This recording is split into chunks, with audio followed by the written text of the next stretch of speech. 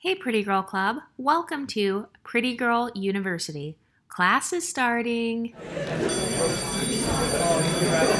The Pretty Girl University now has over 16,784 students. The Pretty Girl University series is going to be about the level up side of this YouTube channel. Um, I've made so many videos on this topic to the point where let's just go ahead and make it a university because that's pretty much what this is. A lot of people, once they get around the pretty girl, they act like they're in a university because they're taking notes on your appearance, they're copying everything you do, and you're pretty much their teacher. So, today the lecture is going to be on your beauty identity. What is your beauty identity? So, when I use that term, what I mean is what aspects of your beauty are your favorite?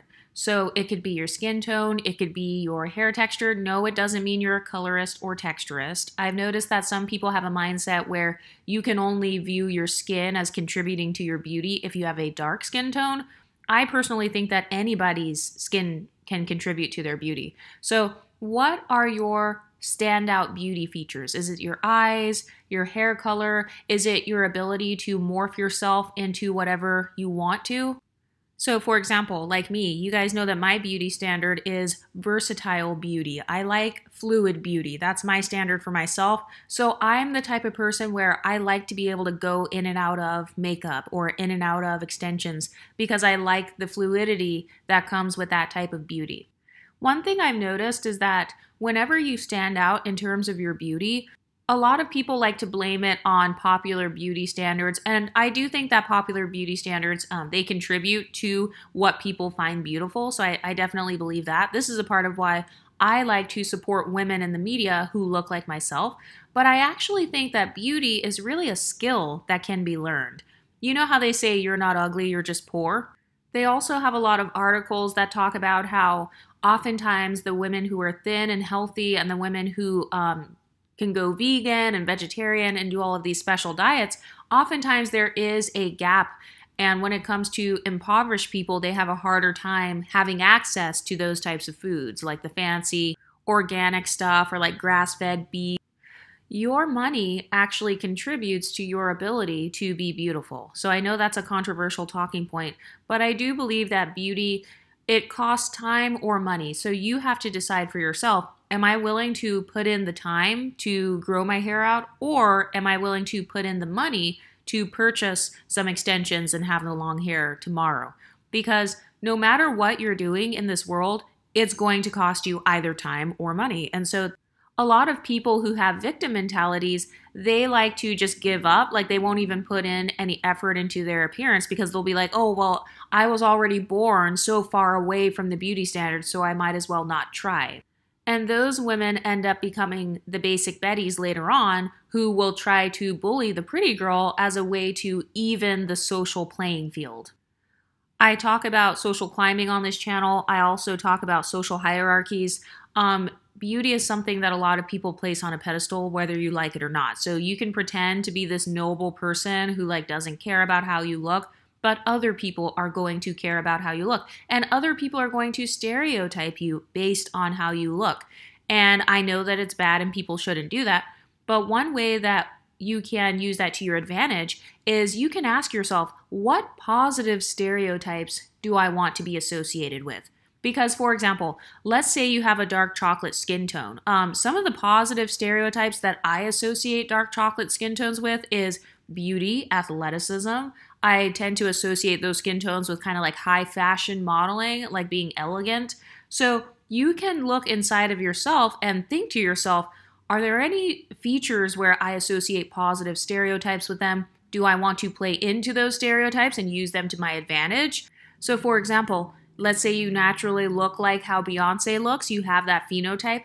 I associate Beyonce with glamour. I associate her with like sparkles. I think of all the sparkly dresses she would wear and stuff when I was growing up. So that is a positive stereotype in my mind. So I can decide, okay, if I naturally look more like that, do I want to play into that stereotype and kind of play into my glamour? And I know some people are going to say, oh, it's bad, like you shouldn't play into stereotypes, but you're being stereotyped whether you realize it or not. And you yourself are stereotyping others whether you realize it. You just stereotyped me by assuming that I am promoting bad beauty standards or that I'm promoting like being shallow. We live in a shallow society. So if you want to argue, you should go argue with the people who are in charge of the society, not a random content creator on YouTube. But one of the foundations of my beauty is having a beauty routine. And by the way, this this video is talking about physical beauty, but I want to do an exercise with you right now. I want you to think about the time in your life when you felt the most physically beautiful. Is it right now? Was it when you were a teenager? Were you in your early 20s? What made you beautiful? Was it the fact that you were skinnier? Was it that your stomach was flat? What made you feel so confident in your physical appearance at that time?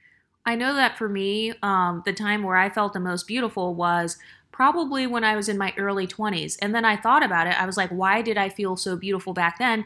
And it's because I spent hours meticulously planning my grocery list. Like, I specifically would eat um, fruits. I would have fruit smoothies for breakfast. I would have like enough protein. My diet was like damn near perfect. And so, because of that, my body was damn near perfect. And I also remember I used to spend hours, it was literally my hobby to make my own homemade beauty products from scratch. So, on the weekends when I was in my early 20s, I didn't really have much going on. I had just graduated college. So whenever I wasn't working, I would go to Trader Joe's and I would get some honey and then I would make like a, a hair mask or a face mask. I remember that was when I grew my hair out 13 inches because I was making all of my own products. I was making face washes, and that was when I felt the most beautiful. And the reason I felt beautiful was because I was investing time into my beauty because obviously I didn't really have money. I was just in my early 20s. But I want you to think about when you felt the most beautiful and why you felt the most beautiful. And also, what was your lifestyle like at that time? Were you male centered? Because I know for me, a part of why I felt so beautiful at that time was because I didn't have a relationship. I wasn't in any relationship drama. I wasn't in some sort of bad marriage or a dead marriage or something like that. I literally had all the time in the world to do my hobbies. I remember I had just cut off my toxic friend group at that time because they were always very boy crazy. There was so much drama. And I remember once I cut off those toxic girls, I had so much more peace. I had so much free time. I wasn't worried about people pleasing, like, oh, if I don't show up to hang out with Ashley, she's going to get mad at me and then she's going to call me fake. I didn't have to worry about anything like that.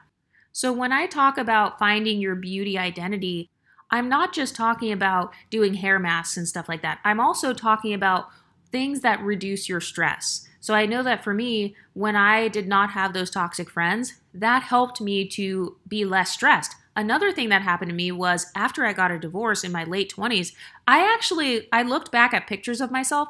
I looked older at 27 than I do now. So I remember when I got a divorce, all of that stress from the marriage, it literally affected my actual body. I remember I lost weight. The wrinkles in my face literally started melting away because I was not frowning as much. I wasn't like making sad faces as much. I remember I was able to eat healthier and shop at Whole Foods because I didn't have a husband complaining, saying, Why are you spending all the money at Whole Foods? Why are you shopping at Trader Joe's? Nobody was complaining, so I didn't have to worry about people putting me down. And so that actually affected my physical beauty. And by the way, make sure you guys check out Dulce K's um, video that she recently posted. If you are a light skinned black woman, um, she posted a video where she has affirmations on there. And that's another thing that can contribute to your physical beauty because it helps you to change your perception of your own beauty. I will say that when it comes to affirmations, some people believe in them, some people may may not believe in them, but I personally do believe in them. I don't consider myself to be like a religious or spiritual person, but I do understand the science behind uh, your words and like how your words matter. Just like when people try to put you down, let's say your parents put you down or your parents called you ugly and stuff, and you internalize that, humans internalize words. And so it is important to also say affirmations, or you can just think affirmations. Also, side note, I even have a playlist on my phone where I have it's basically a female rapper playlist. So I have all the songs uh, from women who look like me and they're rappers and stuff and they talk about kind of like being a baddie and like being a bad bitch or whatever. And listening to that type of music it actually helps me to get in the mindset of yeah i'm a baddie. So it gets me pumped up to like work out as opposed to listening to some song where where the girl is depressed about a guy or something. So, those are other things that have contributed to my beauty identity. So, when I think of the most beautiful version of myself, I think of a girl who eats healthy, a girl who um, has her own workout routine. She has like self care routines, like journaling and stuff. I I am very much into um, writing down my goals. I just I like to write naturally, so I will write down my goals. Sometimes I will take notes for these videos, especially if the video is a longer one. But I'm very into note taking. I'm very into journaling because that helps me to feel organized. And one thing I've noticed is that a lot of times when people are jealous of your beauty, they're not necessarily jealous of your physical beauty. They are jealous of the lifestyle that is attached to your beauty. They're jealous of your pretty privilege. They're jealous of the pedestal that you get put on. They're jealous of how you get treated in society. They're jealous of the fact that, like, when they go to the airport, nobody gets their luggage off of the airplane. And then when you go to the airport, people uh, they take your luggage out of the overhead compartment they help you you know if you drop something a man comes and picks it up. I never considered those things pretty privilege until other women started saying that they have never experienced that. I thought that every girl can go to a bar and some guy will buy her a drink. I thought that any girl could like i don't know some guy tries to talk to her or something or she gets free stuff I thought that was a normal experience for being a girl. So it wasn't until other women who did not feel like they had beauty, it wasn't until they started talking about how much it sucks to the point where I realized that there are actually different pedestals that people place you on to the point where it does affect your everyday life. And by the way, there is no right or wrong way to utilize your beauty identity. I've noticed that a lot of people, they want to pressure you into becoming some sort of supermodel if you are pretty. They're like, "Oh, well, why don't you do modeling? Why didn't you start a business? Why didn't you start a hair care line?" And it's like, not every woman wants to hinge her finances on her beauty because there are some women who they like to enjoy their beauty almost as like a dessert so it's not the main dish when it comes to your confidence. Maybe it's more of a dessert where it's like, I don't have to live off of my beauty, but I also enjoy that my life is easier because of it. I am a big proponent of the mindset that beauty helps you to build confidence because when you gain skill in how to do your makeup, how to do your hair, how to know which colors match well with your undertones, how to lift weights, how to build a butt in the gym, all of these skills that you are learning in your journey to attain beauty those are actually skills that can be transferred over into other areas of your life. So, for example, in order to have a body that is very in shape and like a perfect hourglass and a flat stomach, that takes a lot of discipline. Discipline is a fantastic quality that you can take into building a business or like you can transfer those skills over into other areas. So that's why I'm such a big proponent of beauty because I feel like beauty is a very easy and very fun gateway for a lot of women to start to build self esteem outside of just beauty. Because now you know how to do manicures, you know how to do lashes, you know how to do all these different things. And this is how women end up starting their own lash business, starting their own nail salon, because it all started with simply pampering themselves and treating themselves like a real life Barbie doll. Also, for me, taking back ownership over my own beauty, that helped me to appreciate myself more as opposed to constantly morphing myself into whatever others said I should be. Have you guys ever noticed how when you are the pretty girl, people feel the need to comment on your looks, they feel the need to critique you, they feel like they can tell you, oh no, you should have worn this other outfit, oh no, you need to lose weight. And they're only saying that because you are on a higher position than them in the social hierarchy in their minds.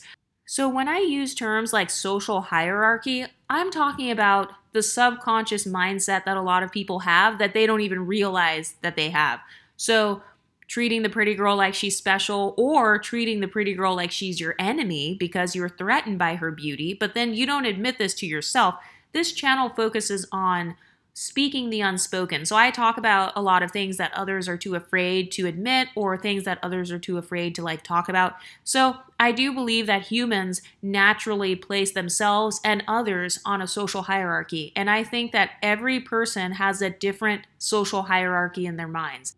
Some people will pedestalize you if you're rich. Some people will pedestalize you if you're a white person. Others will pedestalize you if you were skinny. Um, so I believe that beauty is actually a very simple and effective way to kind of social climb. And when I say social climb, I mean social climb amongst whatever community you choose to do that in. Because sometimes when I say social climb, people think I'm talking about like you need to go be the next Beyonce and be famous and be in Hollywood. That's not what I'm talking about. Not everyone's going to want to go to Hollywood, but maybe you want to be the popular girl in college, or maybe you want to start your own business and you want people to trust you because maybe you want to have a fitness business. And so you want your body to look very beautiful so that it can be kind of like an advertisement for your business. Maybe you want to be the the first person in your family to become a millionaire or there's some sort of barrier that you want to break. And so that's what I mean when I use the term social climbing. It's about breaking barriers, it's about opening doors for yourself, whatever doors you want to open. For some people, it might be maybe you want a relationship or something like that. This is a decentering men channel, but I understand for some people, maybe that's important for them, and maybe that's what they want to use their beauty for, or you want to get money out of people. But another way that you can begin to build your beauty identity is calling yourself by terms of endearment, like nicknames, finding different ways to describe yourself. I noticed that for me, finding different ways to describe myself helped me to have a stronger sense of identity. So, for example, um, let's talk about skin tone. Maybe sometimes you feel like your skin is peanut butter. Other times you feel like it's caramel. Sometimes you feel like you're butter pecan or more of a butterscotch or more of a toffee color. For me personally, getting familiar with my skin tone range and like kind of where my skin tone fluctuates, that actually made it easier for me to shop for makeup. So whenever I was trying a new foundation or something, if it said tan or sand or something along those lines, golden, sun kissed, if it said words that I have used to describe myself, it helped me to feel like, okay, that foundation shade is probably going to be somewhere within my range. So even if it's not that exact foundation, that's my perfect color, I know that it's going to be within two to three shades, then I'll be able to find my perfect color. So that actually helped me to get better at color theory, but with my own skin tone. And the same thing goes with colors like chocolate. Like with hair color, I realized that chocolate, it looks pretty much black on my skin tone. Like it looks like it's almost black. It doesn't look very highlighted because there's such a big gap between my skin tone and like a chocolatey color. And so whenever I was shopping for extensions, I knew like, okay, if it has chocolate highlights, I know I'm going to have more of a dark haired brunette look as opposed to caramel or golden.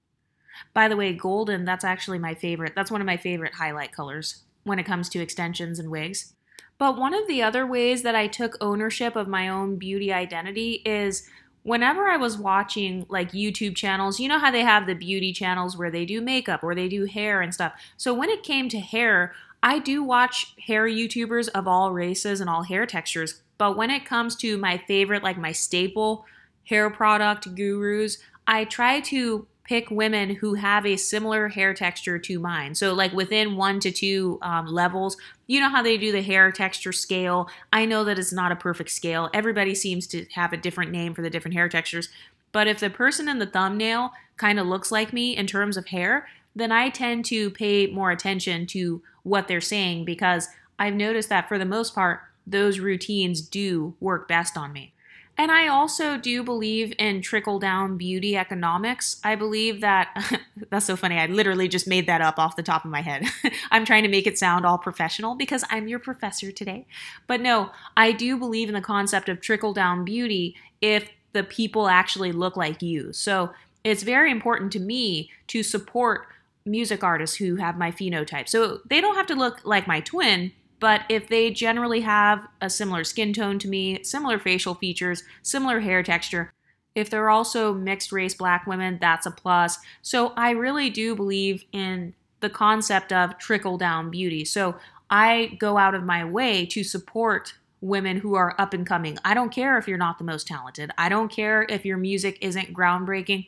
I will purposely follow music artists and stuff and just try to give them a chance because I understand how important it is for my phenotype to continue to have visibility. So it's not about putting down other beauty types. It's just about me supporting my own uh, my own phenotype. So I try to do the same thing when it comes to YouTube. If I see a hair YouTuber and she looks like me or she looks like she could be my sister or my family member, I am more likely to just hit the subscribe button.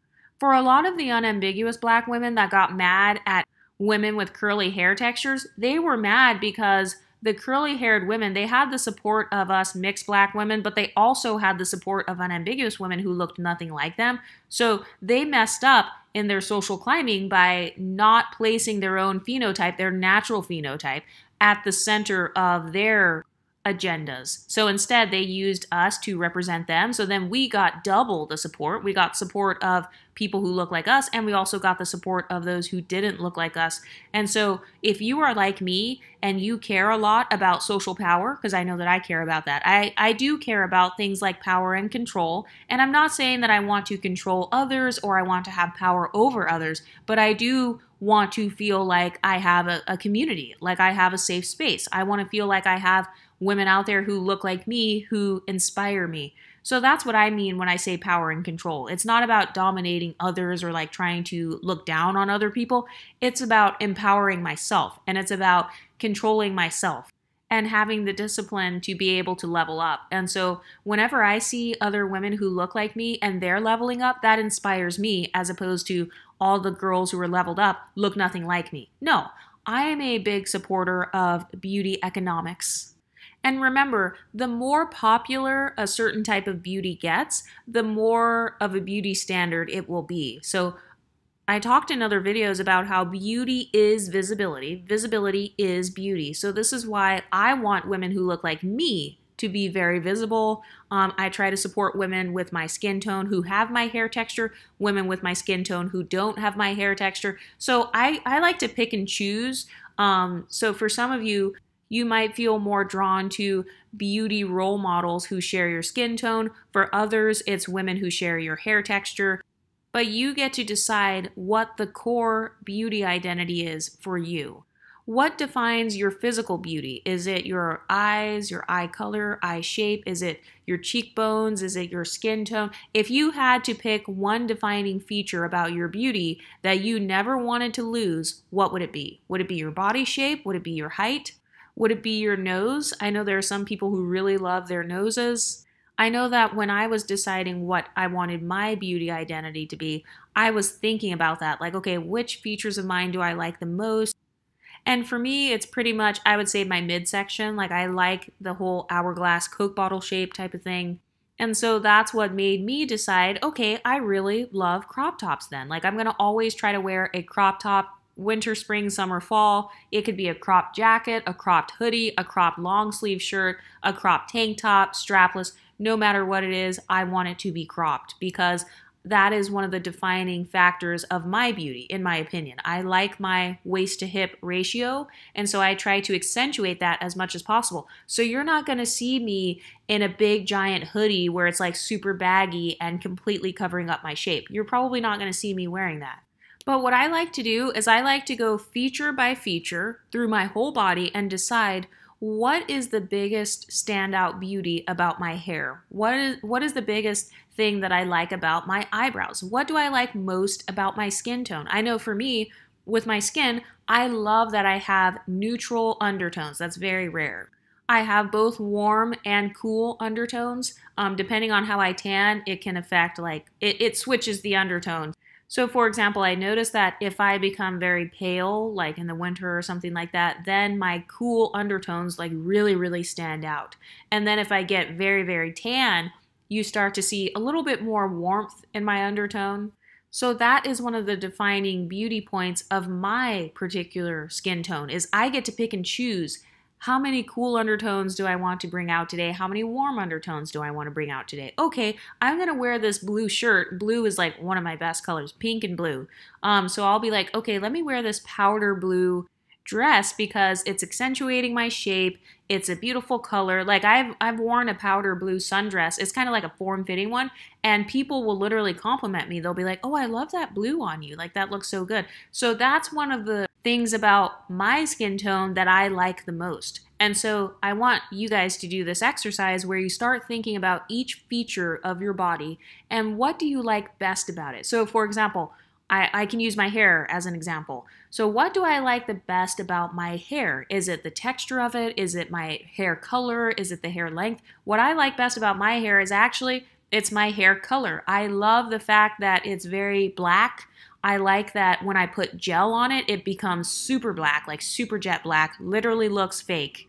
And then I like how if I don't put any gel on it and I let it become dry, not dry like breaking off, but if I let it become very dry and I let it kind of blow in the wind, then you start to see a little bit of a natural, almost chocolatey undertone like highlight to my natural black hair. It's to the point where when I used to wear my hair like that in college, people would be like, "Oh, the girl, she has kind of brownish blackish hair." And I used to be like, "I don't have brown hair. My hair is jet black." But then when I looked back at the pictures, if you went in the sunlight, I did have a little bit of chocolatiness in there when my hair was dry. So, like, there's no gel in it or anything like that.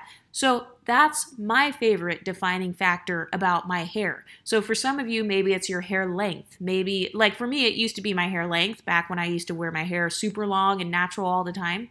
And so I used to revolve my beauty hobbies around my favorite features. And that was a way of building up my confidence. So when I use the term beauty hobbies, that's another thing I want you to ask yourself. What are your beauty hobbies? Do you like having pretty skin? So you like making the face masks and stuff? Are you one of those people who goes into Marshalls or TJ Maxx or one of those stores where they have the face mask just on the side of the aisle and you just pick up a face mask because you really like that? What are your beauty hobbies? Do you like making your own DIY hair masks? I know that's something I used to do. Um, I actually, before I started recording this, I put some olive oil in my hair. I am obsessed. By the way, that's one of my beauty hobbies. I am obsessed with oils. I love oils. People sleep on oils so much. I'm not just talking about olive oil. I'm talking about olive oil, um, essential oils, coconut oil, any sort of oil, I am going to find a way to use it. I'm going to find a way to beautify my skin, to beautify my hair. Like I've literally, I have put drops of essential oil into my cuticle oil that I use on my nails. Like when I do my cuticles and when I do my little manicures, I use oil on my hair. I like putting it in the bath.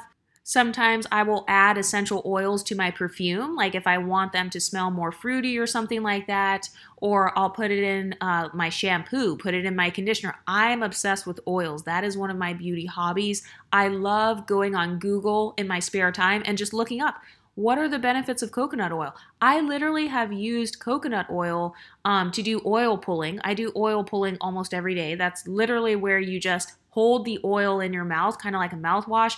I have gotten rid of cavities that way. I have not had to get certain teeth pulled because of oil pulling. So that's one of my beauty hobbies is anything with an oil. Every time I'm in Whole Foods, I will go through the aisle and be like, okay, what kind of oils do they have here?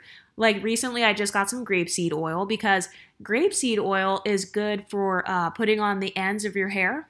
So I was using that just for like length retention because right now I am just growing out my hair for summer. I don't know why. I'm very like inconsistent with my beauty goals. I like to switch them up depending on the seasons. So now that we're like entering into spring and it's about to be summertime, now suddenly I care about my hair. So I literally was like not caring the entire year. It's still long or whatever. It's not breaking off or anything but I was being lazy the entire year. But now I'm like, oh no, summer's coming up. I'm going to be going swimming. So now I'm doing this whole hair training thing. I'm kind of training my curls, but I am obsessed with oils. That's one of my beauty hobbies. So, what are your beauty hobbies? Have you given up your beauty hobbies because you're taking care of kids or you're like taking care of your family or something? So, maybe you've been kind of like neglecting your beauty hobbies and maybe you've fallen off. Because one thing I've noticed is that a lot of girls who get jealous of the pretty girl or the girls who try to copy you, they're not necessarily trying to look exactly like you because they know that they don't have your face, they don't have your body, but oftentimes they will just copy your beauty hobbies. They'll copy the colors you wear, they will copy how you um, organize your outfits, how you put your outfit together.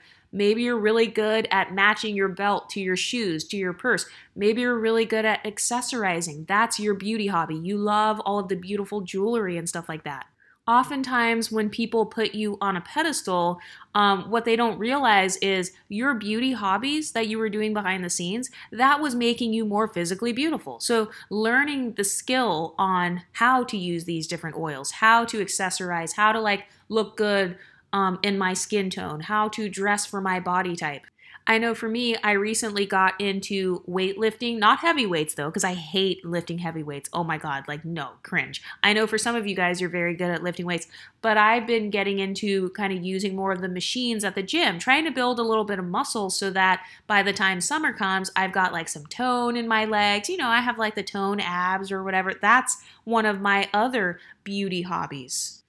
And the reason that I call this the Pretty Girl University is because one of my beauty hobbies is I like to watch content for at least about 30 minutes to one hour a day. Usually it's when I'm working out. I like to watch content where it is helping me to increase my beauty. So, whatever beauty means to you. So, for me, right now in this video, we're talking about physical beauty. So, that's what I've been watching videos on lately. And the reason I time it and I say, hey, I want to do it for at least one hour a day is because that's what people do when they're in university. The way that you earn your degree is because you have done a hundred and something credit hours in learning that skill, and that's how you have the degree. So the way that I think of it is hey, by the time I'm 35, so, like three years from now, I'm 32. By the time I'm 35, I want to have damn near a bachelor's degree in skincare so that I know how to care for my skin, so that I know how to, I don't know. Well, skincare is actually not my beauty hobby. So, let me change it. I want to have basically a bachelor's degree in oils. So, I want to be able to walk into my kitchen and literally get one of my cooking oils and utilize it all over the house. Like I've used oils before to clean, like essential oils, putting a couple drops in there and spraying it, wiping down the counters and stuff, or even using it as a toner. So that's why I call this Pretty Girl University because I want you guys here in the Pretty Girl Club to start thinking, what is my beauty hobby? Um, for some of you, maybe you are really into your feet, like caring for your feet. My mom is like that. She does her own pedicures. She has the pumice stone thing. She like scrubs her feet. Her feet are like super soft.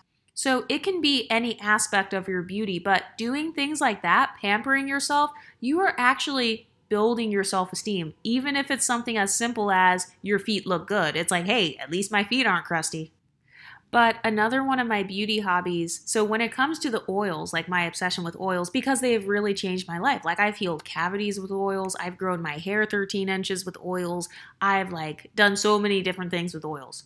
I have even rubbed oil on my muscles. Um, so you guys know that I like doing lots of hiking and running and kind of like these more tough cardio workouts. So whenever I'm sore, I will sometimes put like coconut oil and a little bit of peppermint and rub it on those sore muscles even if I get a really weird tan line or something, I'll do some coconut oil with some lemon or some sort of fruit oil where kind of the citric acid will help to brighten the area. So I, I just do all kinds of things with oils. But what are your pretty girl hobbies? Another hobby I used to do was creating my own hair products. So I would use literally bentonite clay. My bathroom would look a hot mess, and I, I would always clog up the bathroom sink. So that's a warning when it comes to making masks and stuff.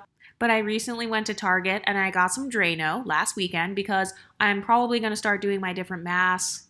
One of my other beauty hobbies is you guys know I love hairstyling. So it can be fake hair, it can be my real hair. I love just having the versatility of doing all of these different, very unique hairstyles. So sometimes I will come on here and I'll be like, yeah, sometimes when I wear the synthetic hair, people think it's real. And then some of you guys will be like, oh no, they know that it's fake. But no, some sometimes people do think it's actually real because of the hairstyles that I do. They're not the types of styles that I've seen on YouTube. It's not like just basic I just glue a wig down to my forehead or something. No, it's me like going out of my way spending 30 minutes doing like a half up, half down, or like trying to figure out how to put my hair in two French braids, but then I put some braiding hair in there, but you can't see where the braiding hair starts and it blends in with my hair and I use so little braiding hair to the point where you literally you would not be able to tell. But that's another one of my beauty hobbies is experimenting with different hairstyles, um, trying different hair colors. You guys who are in the Discord, by the way, join the Patreon and you will get Discord access. The Patreon's only $5 a month. But for those of you who are in the Discord, you guys know that I love going to random beauty supply stores and I love looking at the different wigs and all the different hair, like the crochet hair. It's just so cool and fascinating to me.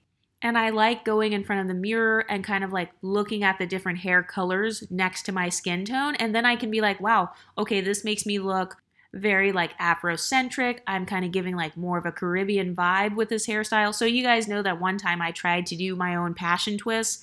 Um, it didn't look bad. I just the twist kept they kept falling out of my hair. But when I wore the long passion twist and then I had like a little silk scarf or some sort of bandana on the top of my head, I felt like I looked like this Caribbean kind of like pirate mermaid goddess. You guys also know that I'm into cosplaying, so I'm probably going to go to a cosplay festival this spring. And so I was thinking of dressing up as a mermaid. So now I'm excited because one of my beauty hobbies is hair. So I get to try to find some sort of mermaid looking extensions or a ponytail. Maybe I'll do like a lavender wig or something. So that's what I mean when I say beauty hobbies. I mean, thinking about all of the different creative ways that you can beautify yourself. So, for some of you, you might like some of the glam stuff, like me, kind of the fake stuff. And then for others, maybe you like natural stuff. You like the oils. You like making your own perfumes. That's something that I have never done, but I have friends who they like making their own perfumes. They will make like oils. I know that for me, I have made my own lip glosses before and made my own lip colors. I literally would just blend some sort of powder. It could be like eyeshadow or something like that. And I have blended it in with like Vaseline or coconut oil and just tried to mix my own colors. I've done so many different like random things when it comes to beauty hobbies. And by the way, when I talk about living the soft life on this YouTube channel, I believe that beauty hobbies are a big part of the soft life because think about the definition of soft life. It means that you don't have to spend all of your time thinking about, oh my God, how am I going to pay my bills? You get to have the luxury of thinking about what color am I going to paint my nails? How am I going to wear my hair to this music festival? Um, what color lipstick am I going to wear? In my opinion, that's the soft life. Like when I think of the softest times in my life, it was when I was not stressing about anything and when my thoughts were about softer things. So I want to do this exercise with you right now. Think about the time in your life where it was the softest. Were you a child? Were you a teenager in your early 20s? Is it right now? And whenever your life was the softest, what kinds of thoughts were you thinking on a daily basis? Were you thinking about when your next vacation is or like packing for a vacation? Were you thinking about it's payday and now I get to go to Sephora? What types of thoughts were you thinking when you were living the softest life? Because that's going to give you a clue as to what your definition of the soft life actually is. I know that for me, when I can think of some of the softest moments of my life, I have one memory that stands out. It is when I was by myself. Um, I was walking on a trail but this trail, it would go kind of like into the middle of the city. So you know how they have those boardwalk type of things where like people are skateboarding, people are rollerblading. So I was walking on a little boardwalk like that, and I got to watch all of the other people skateboarding and like biking and just kind of living their best lives. And by the way, I also looked cute when I was walking down this little path. And then I just saw hundreds of other people also walking and kind of appearing to be carefree. There were no homeless people on the street, there were no people harassing me. Everybody was just living their best lives, walking their dogs, whatever. So I remember walking down that trail and I walked over to a Trader Joe's because that's one of my favorite places. So I remember walking to Trader Joe's. I got myself a little snack, like a little water bottle, because I had just finished walking. I also remember sometimes walking on the trails and then stopping at a Starbucks if I'm like walking in and out of the city. So I've noticed that I associate the soft life with things like fitness, going on walks, like going on a trail, because I associate going on walks with like having free time, like having the luxury of having free time. And then the Starbucks thing, that means that I associate the soft life with being able to afford going to a coffee shop. Because I remember one thing that used to get me very upset when I was with Dusty X's was they would make fun of me or put me down and say it was a waste of money to go to a coffee shop. But for me, it's not just about the coffee shop, it's about the vibes, it's about me like drinking a nice latte. I like the energy boost that I get from lattes and stuff like iced lattes. And so I associate the soft life with things like being able to afford lattes, being able to afford to go to Trader Joe's, not having to do all of my shopping at Walmart or a food bank.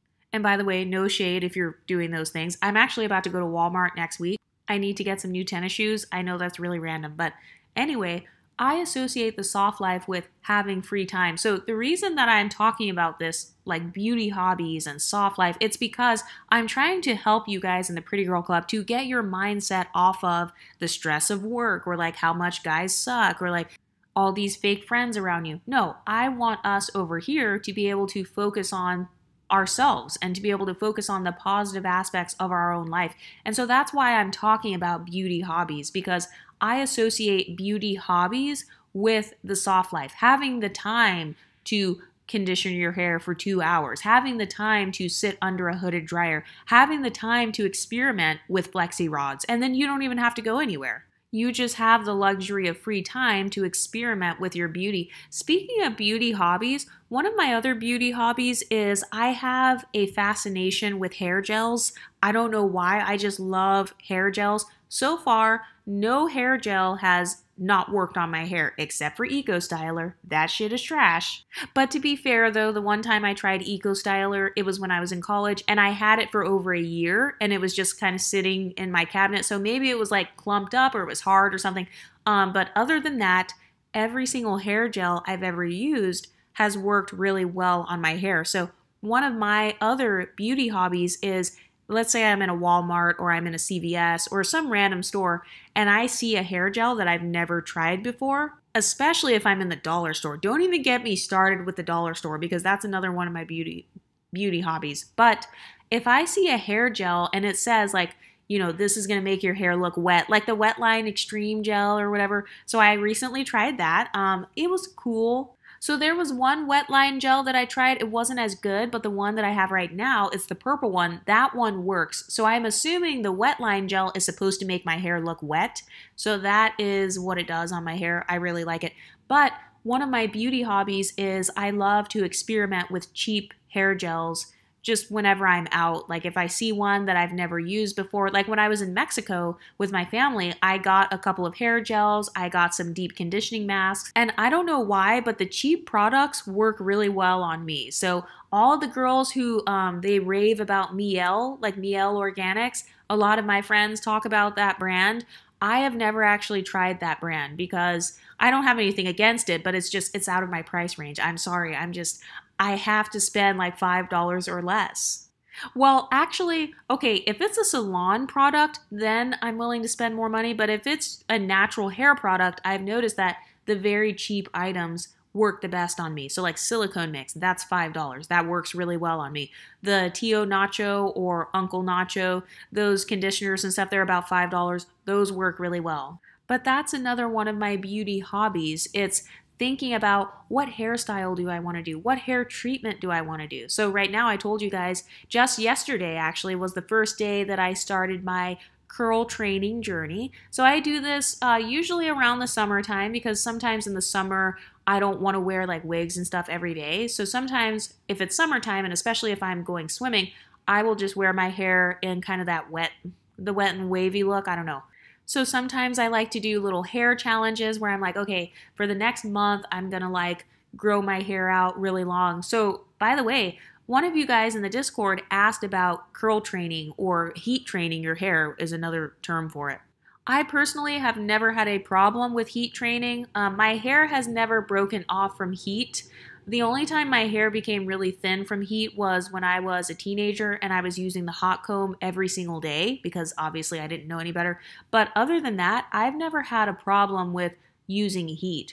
So I am going to be training my curls and I've actually seen girls do it multiple ways. So two of my friends in high school, they had a similar mix to me, but they were black, white, Native American, so like no Latin American. And the way that they would do it is they would have a wash and go. So just washing their hair, and their textures were like 3B, like 3A to 3B. Well, actually, their texture was like 3B, and they both took it from like 3B to 3A. I think the other sister, her hair was more like a 3C, and she took it to about a 3B.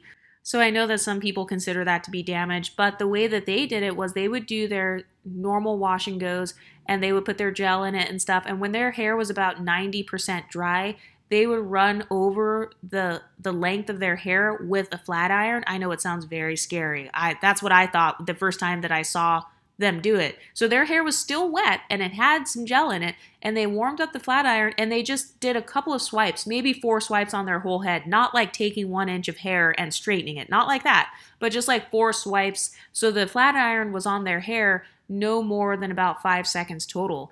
And so at first I was like, that seems pointless and damaging. Um, but I did notice after about four months, my one friend who was doing the, the flat iron thing her curls naturally became just a little bit looser, but her hair was all the way to like waist length. So I don't consider that to be damaged. It was still very thick. Um, you guys can say whatever you want about her using gel. It worked for her. She didn't have any problems with it. So the way that I view training is kind of naturally stretching the curls. And it's so funny because I, I've talked about this before and I noticed the 4C girls, they got mad when I was talking about it, and they were like, no, we don't want to stretch our hair. Nobody wants their hair to be looser, blah, blah, blah. And I was thinking, well, then why is stretching your hair like a really major thing in the natural hair community? Some people stretch their hair because it is easier for them to manage. That's not me throwing shade at 4C hair. I'm not trying to say, like, oh my God, you know, it sucks if your hair is like very coarse. I'm not trying to say it like that. I was just saying that, yes, other women themselves who had 4C hair or even 3C hair have told me, oh, I'm going to like loosen it or whatever because it's it is making it very manageable. So for me, even at my 3 3B hair texture, I think I'm a 3B, but whatever. Um even with that hair texture, I am going to be stretching out my curls because for the summertime, I like kind of that wet, curly look where it's like you just got out of the shower or something. So the way that I tend to stretch my hair is I just brush it straight back with like a uh, the boar bristle boar. Oh my god, I can't talk. The boar bristle brush. I think that's what it's called. It's this brush right here. So you know the brush that guys use to get waves and stuff. So whenever I slick my hair back, it becomes straight. So like I don't know how to explain it, but my hair becomes straight when I brush it. Um, so that's one of the ways I train my curls. I like to loosen them. I know a lot of girls like doing pineapples, but I noticed that pineapples it can make my hair kind of break in the back and i think part of it is because of where the, the hair tie sits on my head if i want to stretch out my curls i usually do a low ponytail because i'm training my hair to lay down flat on my head and I do that because I'm trying to wear my hair down and curly, not up and curly. So I guess if you're more of an updo curly girl or an updo natural, then yeah, maybe you would want to train it to naturally go up. But I noticed I like mine to go down. And if I wear it in a pineapple too much, then it, it doesn't train itself to go down my back as much. It, it kind of wants to shrink a little bit. But anyway, that's my random rant about curl stretching. That's going to be one of my uh, beauty hobbies, or kind of like uh, curl lengthening. I don't know what else I can use to describe it, but I like doing that.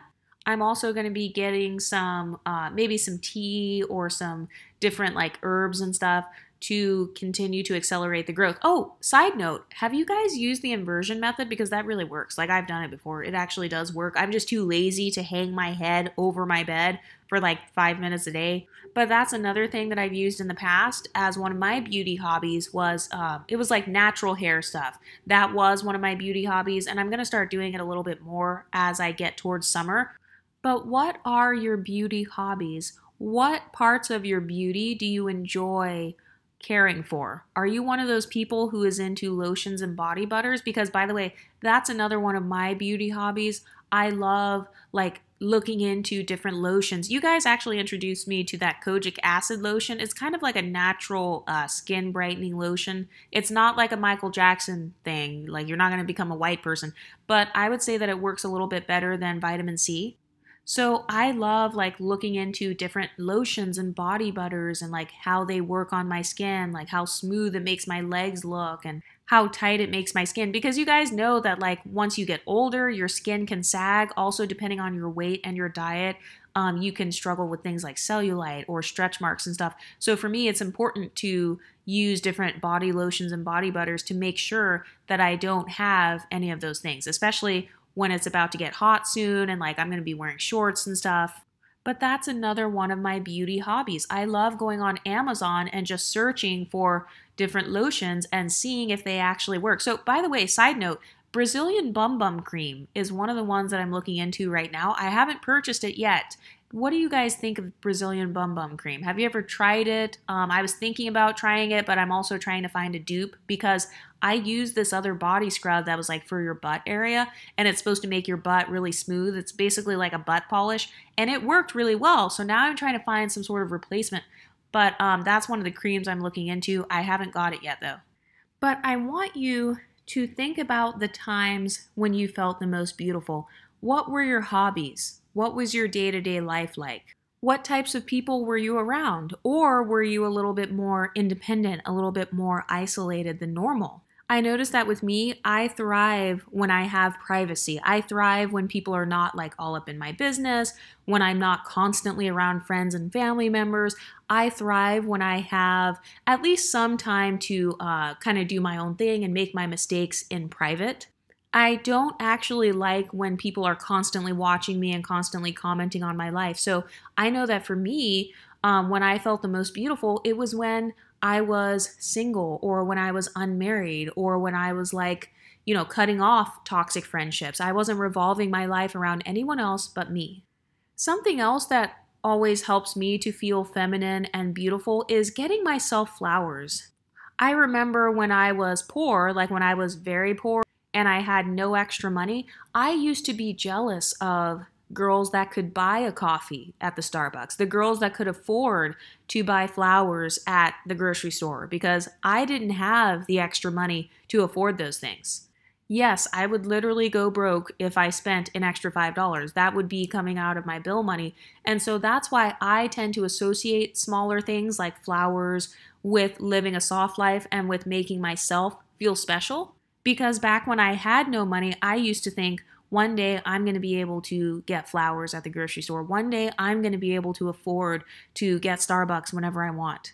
But I know that for me, getting flowers is something that makes me feel very feminine and beautiful. I associate flowers with luxury. I associate real flowers with the soft life. So, by the way, happy St. Patrick's Day. Um, so this weekend was St. Patrick's Day weekend, and so I ended up going to a St. Patrick's Day celebration. Um, by the way, Irish is one of the many smaller admixtures in my background. So, shout out to my beautiful Pretty Girl Club members who have Irish admixture. I hope you did something to incorporate that part of your background into your life. Um, so, I don't usually celebrate the Irish admixture because it's a little bit smaller, and plus, I can't really think of many holidays that have to do with the Irish people. So St. Patrick's Day came up, and I went to a St. Patrick's Day celebration. I wore my green, it was really cute. And I also went to the grocery store and I got myself some green flowers to celebrate that part of my ancestry. That is me validating my beauty because I believe that I have the right to love every part of myself. So, yes, that includes the smaller parts of myself. Just like how you love your hands, you take care of your hands. Your hands are a small part of your body. Your feet are a small part of your body, but you still take care of them, right? So, I choose to love every part of myself and every part of my ancestry, every part of my background. I choose to celebrate that. So I actually went to the store this weekend and I got myself a green and white bouquet of flowers just to put in my kitchen, and that made me feel beautiful, like I was living the soft life. And yes, I felt very feminine and girly when I was walking out of the store with my flowers. It's to the point where I'm literally going to buy flowers for myself every time I go grocery shopping. And I also like to get flowers that are like matching up with the season. So, springtime or like St. Patrick's Day maybe around Christmas time, I'll get some Christmas plants or something like that. So that is something that also makes me feel beautiful. I consider that to be a beauty hobby because, yes, it does make me feel physically beautiful to walk out of a store and I have my groceries, but I also have a bouquet of flowers. It's kind of like I'm sending a subconscious message to everyone around me that I am special, my apartment and the place that I live is beautiful, and I believe that I'm beautiful enough and abundant enough to be able to buy myself flowers. By the way, the flowers aren't even expensive. I literally, I've never spent, I think, more than like $5 on the flowers, but still, that actually boosts my mindset. It actually boosts my self esteem over time ever since I've started doing it. And yes, I feel beautiful when I'm walking out of the store with flowers in my hand or like with some pretty flowers popping out of my grocery bags. It makes me feel beautiful, classy, and like I'm just a feminine goddess. But if you can think of the times when you feel the most beautiful, what beauty hobbies are you participating in? What beauty rituals are you doing that are making you feel beautiful? And I'm asking you that because here at Pretty Girl University, I want us to start teaching ourselves how to pamper ourselves consistently, how to live the soft life at any relationship status, no matter if you're single, doesn't matter if you're rich or poor. Um, I associate beauty hobbies with living the soft life because I feel like sometimes when people promote the soft life, they promote it like it's unattainable. And I believe that you can do practical things right now, today, that will make you feel like you're living the soft life. And I know that for me, beauty hobbies are a really big part of that. Like another one of my beauty hobbies is doing my manicures and doing my pedicures and taking out my little gemstones and my rhinestones and putting them on my nails. And doing it in a way where it's like I didn't have to pay a bunch of money to go get my nails and toes professionally done. For some of you guys, you may want to do that, but for me, I like to get the little nail kits and stuff and just keep it at my apartment and then whenever I'm like in the mood to pamper myself, I can just take out my nail kit and start doing my gel manicure. And then I can put like a little water decal on it or something. And that makes me feel beautiful. I associate having well manicured nails and toes with being beautiful. Another one of my beauty hobbies is I love skincare tools. So, you know, like the jade rollers, um, the gua sha. I like stuff like that because it really does help my face to like not be puffy. Um, I even do cupping, like I've done face cupping. I've even done body cupping, like at the spa. I'm also planning on buying some cups to use on my legs because it helps your legs to not have cellulite. It helps your skin and stuff to remain firm so that as you're working out and building muscle and maybe losing weight, um, you don't have to worry about getting a whole bunch of stretch marks and like having a bunch of problems with the skin on your body. So that's another one of my beauty hobbies. I like using skincare tools. I've also seen how they have like that little ice thing that you can put on your skin. I've never tried that, but I've been kind of looking into stuff like that. But those are some of my beauty hobbies. What are your beauty hobbies and how have they helped you to embrace your beauty more? Let me know what you think in the comment section and I'll talk to you next time. Stay pretty, ladies.